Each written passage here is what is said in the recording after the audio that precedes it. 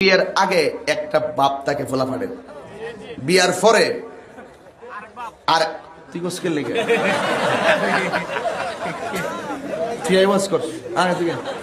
বিয়ের আগে একটা বাপ তাকে ফোলা ফাড়ে বিয়ার পরে আর তুই কোসকে লেগে।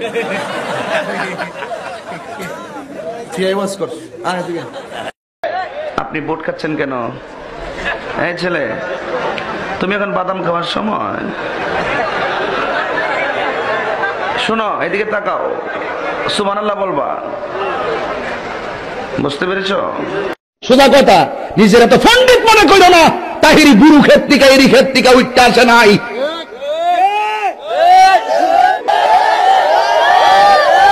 নে, নে, নে।